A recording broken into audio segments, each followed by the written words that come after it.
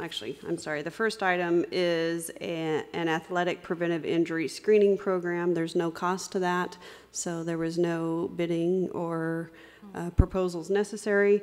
The second item listed um, is a contract with the Board of Governors, California Community College Chancellor's Office. That is a grant agreement for assessment remediation and retention for the associate degree nursing program.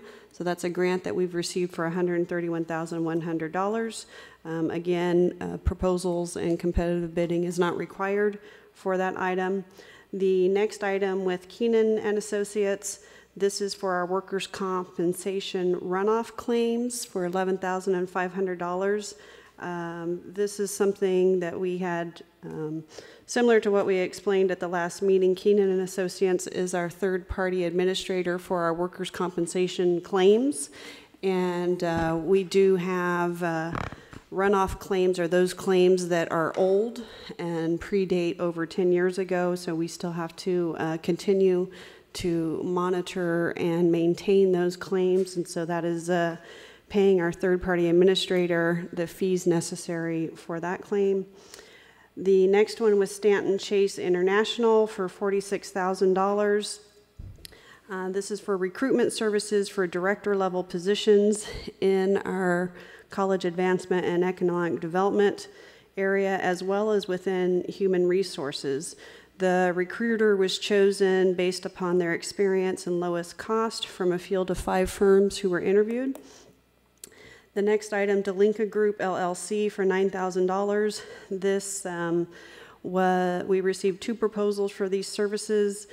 Uh, Dolinka Group will be providing our dissemination services related to our bond compliance. The next item, Dawson and Dawson Staffing Incorporated for $28,165.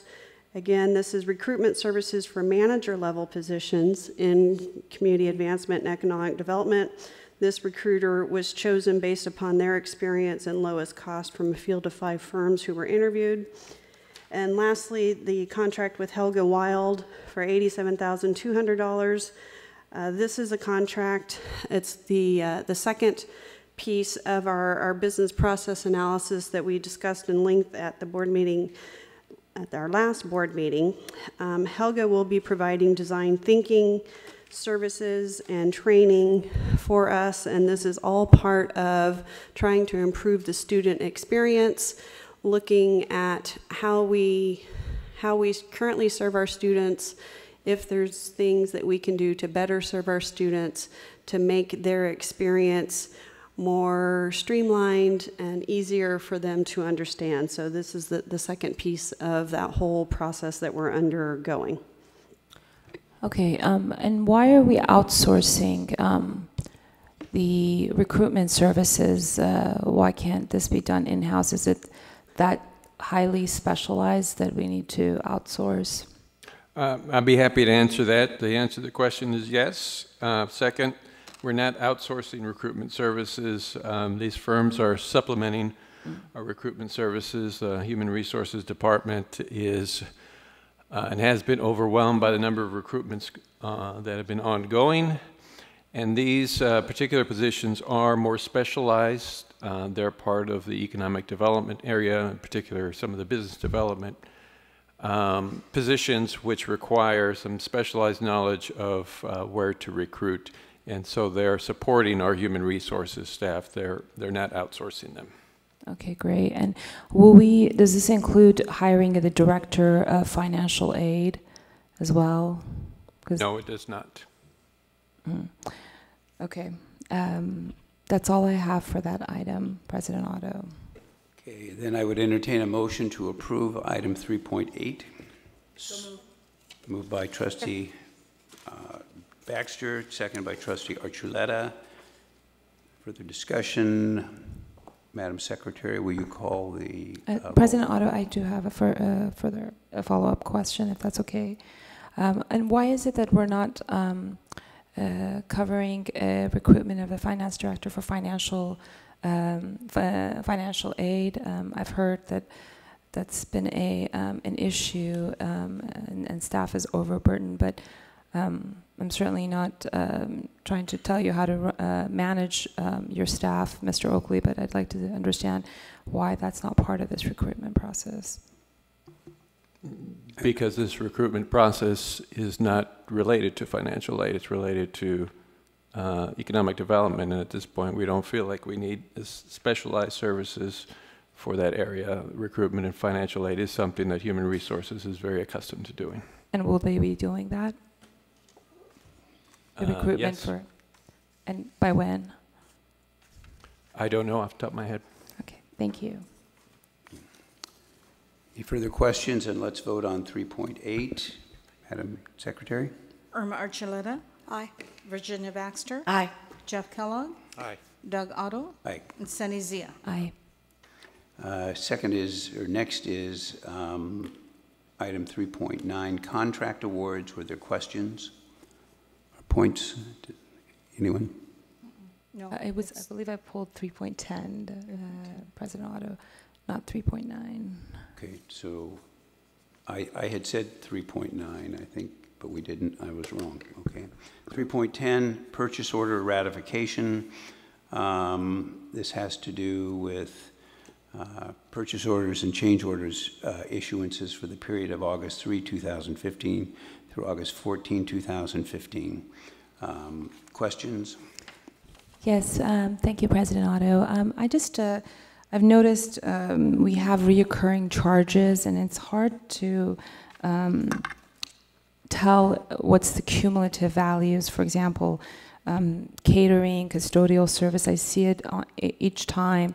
Um, are these amounts that are reflected here the cumulative amount to date, or is it just for that period of the month? And if it's for the month, is it possible to see, um, to get another uh, column to see what's spent to date? So the, the purchase order listing that you have are the purchase orders that were issued for the time period August 3rd through August 14th.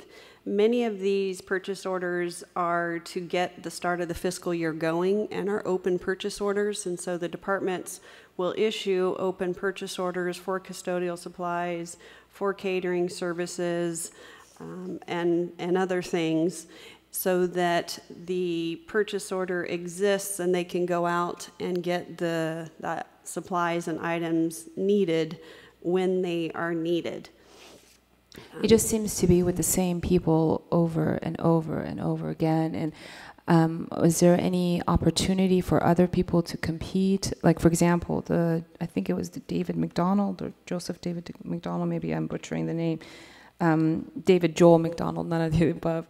Um, is the I just see that name popping up each time, and I don't see any other name for catering. Um, so, what are our processes or um, uh, what are some of the steps we're taking to get, provide opportunity for other um, firms or vendors to um, have a bite of the apple? David Joel McDonald is the owner of SMB Foods, who runs our food service on campus. Part of the contract with them is that they get the first right of re- refusal for any catering service above $250 on campus. So uh, when we went out with SMB Foods, we did go through a process that the auxiliary did. This is ran by the auxiliary, not the district, but the auxiliary did follow a process, and it is part of the contract with SMB Foods that catering services on campus, he gets the first right of refusal. Okay, so these these line items uh, do have per, uh, contracts attached to them. It's uh, it's not necessarily that they're um, just one purchase order, one one-offs, or um, recurring separate purchase orders. There's there they have associated contracts, correct? These particular items, uh, anytime that there's catering by any department, they go through SMB Foods. So we have the master contract with SMB Foods. So each department can issue a purchase order based on their budget, uh, and they just have to go through SMB Foods. So um, there is no other purchasing requirement, since they Okay, already are going through the master contract. Okay, so it would just be um, helpful so um, we could see if there are uh, contracts. That way, um, wouldn't a- there will be no need to ask questions. If there's a contract, then there's no need um, for me personally to ask any further questions Would that be possible to see which ones in the next ones or? Trustee Zia, the purchase order is a contract. So by the fact that we're issuing a purchase order, that is a form of a contract with the vendor to provide the items that we've issued the purchase order for. Yeah, I, I agree with you, um, Vice President Gable, and yet it's hard to tell how much the cumulative amount has been to date because it's piecemeal each month, and that's what I'm trying to get at. So if we had an amount, a column where we could see what's the cumulative amount for each purchase, it would be nice, particularly for someone like me, to get the bigger picture. That's all. I mean, what I would suggest is if you've got questions like that, um, that concern the way that we're doing the accounting, or if you need additional information, if you can offline ask those questions, and if you're unsatisfied with the answers you get, um, then, uh, then, you know, we can take up the issue of whether we want to change the way we do our accounting. Well, I certainly, um, I'm not suggesting uh, we make any unnecessary changes. The information may already be existent, but, you know, and I did per, uh, send in my questions ahead of time, and I've, ha- I've asked pre- previously, so it's just a matter of, Actually, these questions came to us about 2 o'clock today, where I think everybody was at the funeral service. Okay, well, regardless, it came in before, but uh, my point Or is. what? Came in um, before what? before the meeting. and I've, I've asked previously, but um, nevertheless, uh, it would just be nice for me in order to un- do my oversight capacity and fulfill my fiduciary duty to the public to have a bigger, bigger picture of the total expenditures for each line item. That's, that's all I'm saying. Um, it's, um, it would be uh, valuable. Otherwise, it's hard to tell what's the total amount spent um, on each line item. If I can also suggest, all these line items are part of the budget, and every quarter we receive a budget um, update. Um, These line items all represent uh, contracts and purchases that are drawn off that expenditure budget. So the full detail is always disclosed in the amount that we spend on a, on, uh, when we report on a quarterly basis. So um, the total amount really reflects what we approve in the, um, the budget that we're adopting today. So, um, Yes, and I, I the total amounts that. of the purchases for the entire year. Uh, Thank you. Um, I don't, I, um, we can uh, discuss this um, further, at- at- but at a later time. But really, this is not just for the benefit of the trustees to know. The public has the right to know this information, and I'd simply like to have it, uh, I'm suggesting we put it there as just an additive value or cumulative value to date, so that out of the spirit of transparency and the public's right to know, it's codified, that's all. Um, and I'm certainly not criticizing our process. I'm, I think we have a great process. That's all I have for that item. Well, with all due respect, trustee Zia, you're suggesting that this is not a transparent process, and. I'm let me- certainly not suggesting Let me that. be clear. Let me be clear. The total amount for the entire year purchase order is on this document. Uh, So it hasn't all been spent, but this is the amount of the purchase order that's open for the year. So just to be clear, that is the total amount that should be spent throughout the entire year. Okay, thank you, Superintendent Oakley. The, um, I do take exception with the way things are reported in the budget. It's one line item. It's hard to tell um, what the breakdown, what the breakdown of these numbers are. And I'm simply uh, asking that we increase our um, very transparent process that we already have that our staff has worked very diligently and hard um, at. It's just a, uh, we can always do better, and um, that's all. And I guess what I was suggesting is that these are the kinds of things that can be worked out offline, and your questions can be answered. And if they're not answered to your satisfaction, then we can bring them forward, especially if they involve policy changes of some, some, uh, of some kind. But I don't want to create the impression that um, the process is not transparent, that there are thing, additional things that we should be doing um, unless we have a chance to vet these things. And I mean, I do think that it's important, and I think we've suggested, and I think indeed the Communications Committee will suggest that there be not a deadline, but a time when questions with regard to agenda items get presented, so we have an opportunity to respond to things uh, in a timely way, and, uh, and that means, we're taking a lot, we're taking a lot of st- staff time to do that, and that's one of the things that staff does, but uh, it was impossible today. I mean, absolutely impossible to get any kind of responses at all, because nobody was here except you, I think. And so uh, I think that what we, what we need to do is to, to take this offline, not as a way of hiding anything or making it less transparent, but by making it an- efficient process. Everybody gets to ask whatever questions they want to ask uh, in a timely way, uh, but in a way where we can all meaningfully participate. Sure, absolutely. I've always agreed on that concept. I just, it just seems to be every time I ask offline that uh, our superintendent has an axe to grind with me, and I, I take exception to that. That's, and I will ask publicly to make sure the people understand what we're looking at in order to fulfill our duties as trustees. I- As board president, if you think the superintendent president has an axe to grind against you, I would ask you to bring those concerns to me directly, and we can talk about those. I will certainly do that. Great, thanks. Uh, Did we vote on 3, uh, 3.10? No, we have not. And we- But we have a motion before us? Yeah, I think we. Yes. Madam uh, Secretary, can you please read the roll? Irma Archuleta, Aye. Virginia Baxter, Aye. Jeff Kellogg, Aye. Doug Otto, Aye. and Sunny Zia. Aye. 3.11, contract amendments. Um, I think there was a concern or a- a question at least about um, uh, CN 99709.9. This is with Cal State Long Beach Research Foundation. We're asking for an amendment to increase the contract amount by $54,936 for a total contract amount not to exceed $203,936. I think trustee Zia, you had a question about whether um, the, we were a sub-recipient or Cal State Long Beach was a sub-recipient, I think. Uh, Is that, is that fair? Um, it, I just can't tell from the way it's articulated in the description if who is the recipient, or and then also, or if we're um, responsible to pay this amount. Um, it's just hard to tell. Um, it's a little bit um, cryptic the way it's. Uh, Uh, Vice President uh, Gable, it wasn't for me, but go ahead. Yes, so uh, California State University Long Beach, their research foundation is a subrecipient of ours.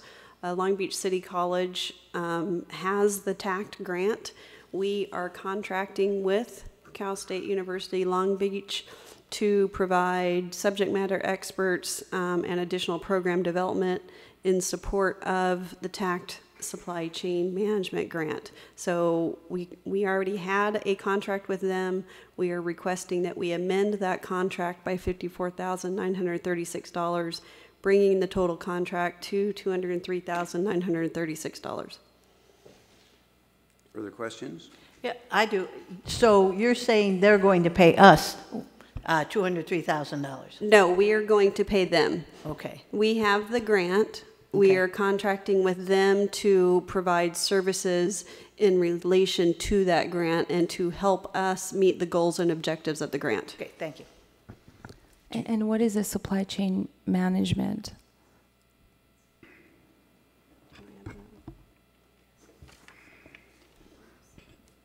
Yes, um, trustee Zia, supply chain management has to do with um, our international trade program, um, our advanced transportation program, and everything that is associated with that. So it is um, uh, tracking goods from point of uh, origin to point of destination. It's a training program, it's an entry-level training program for people in the community so they can get introduced to the whole issue of supply chain logistics. Thank you. Okay, I would entertain a motion with regard to uh, Agenda Item 3.11, Contract Amendments, which concerns this Cal State University Research Foundation grant. Second, It's moved by trustee Zia. Is that right? I, I seconded. Uh, Trustee Archuleta made the motion. Trustee Archuleta made the motion, trustee Zia seconded it. Any further discussion? If not, Madam Secretary, please call the uh, roll if you're ready. Irma Archuleta. Aye. Virginia Baxter. Aye. Jeff Kellogg. Aye. Doug Otto. Aye. And Sunny Zia. Aye. 3.12, grant revenue agreements. This concerns, excuse me, uh, this is a contract C- CN 9317.3.8 with the California Governor's Office of Business and Economic Development to provide funding effective July 1, 2015 through June 30th, 2016 in the amount of $503,000. Um, This grant, there's a a grant number, provides funding for business consulting focusing on access to capital for Los Angeles Small Business Development Center network centers. Excuse me. Motion. Are you on 312? Yes, We didn't pull 312, did we? well, I No. did. We did not pull It wasn't pulled, 312. it was, I thought it was on my list. We, we do need to go back to 310, though, because No vote. there was no vote recorded.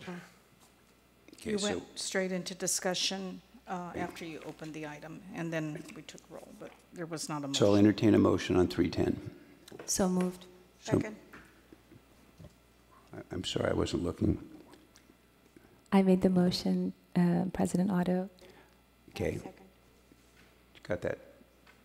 From Archuleta? That's what I Eleven. need to hear. Zia made the motion, Archuleta made the second. Um, Any further discussion? Call the roll, please. Irma Archuleta? Aye. Virginia Baxter? Aye. Jeff Kellogg? Aye. Doug Otto? And Sunny Zia? Aye.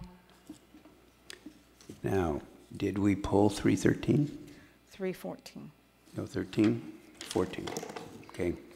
Academic personnel, um, uh, I think this was pulled by trustee Zia. Uh, So, Yes, I, I I just wanted to congratulate um, Casey Crook um, and uh, in becoming the interim uh, department head of kinesiology. That's all I had. It's Okay. well deserved. Any other comments? Entertain a motion to approve 3.14. So moved. Second. Moved by trustee Zia, second by trustee Baxter. Please call the roll. Irma Archuleta? Aye. Virginia Baxter? Aye. Jeff Kellogg? Aye. Doug Otto? Aye. and Sunny Zia? Aye. Now, what's the next one that we have pulled? That's the end of that. Okay. So we've now approved all of the pulled items, I believe, and we're ready to roll on to the, the the consent ag- agenda has now been approved. Is that correct? That's correct. Okay. So, um, academic affairs, 4.1, approval of designated representative to serve as the official Long Beach Community College District representative to the Long Beach Adult Education Consortium. So moved. Second. Discussion? Um, who's being? Um, so this is for Vice President Terry Long. Yes. Right. I just want to say it's a very um, uh, well-deserved appointment, and I'm sure Terry's going to do a great job And more work. to represent us.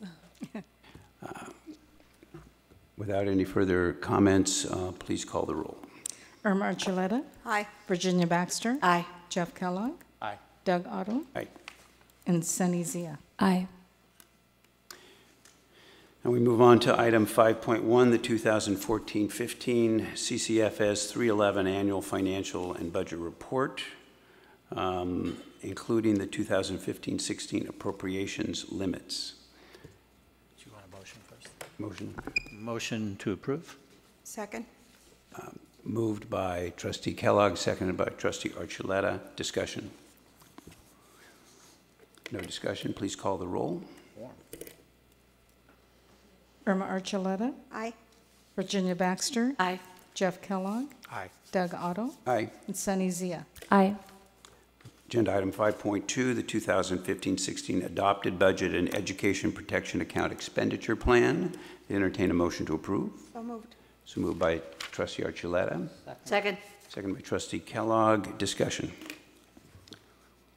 Uh, should we have Baxter?